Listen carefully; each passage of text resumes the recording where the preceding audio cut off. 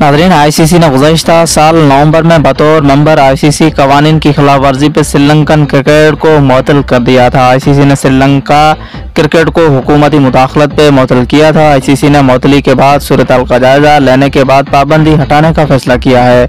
Sri Lankan cricket ने ICC को हुकूमती मुदाखलत न होने की यकीन दानी कराई है।